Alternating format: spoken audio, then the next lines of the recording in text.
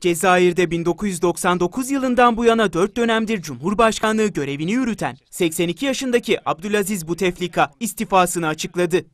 Buteflika'nın ciddi sağlık sorunlarına rağmen 22 Şubat'ta 5. dönem için adaylığını açıklaması ülkede protestolara neden olmuştu. Gelen tepkiler üzerine Buteflika, Cumhurbaşkanlığı seçimlerini ertelediğini, adaylığını geri çektiğini ve yönetimde kapsamlı değişiklikler yapılacağını duyurmuştu. Muhalefet, Buteflika'nın adaylıktan çekilmesini ilk başta memnuniyetle karşıladı.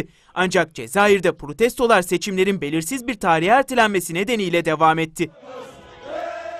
Cezayir Genelkurmay Başkanı Ahmet Kayıt Salih yaptığı yazılı açıklamada Buteflika'ya derhal görevi bırakma çağrısında bulundu.